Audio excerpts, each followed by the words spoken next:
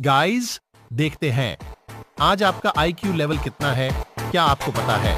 भारत का ऐसा कौन सा राज्य है, जिस राज्य में ट्रेन की लाइन नहीं है?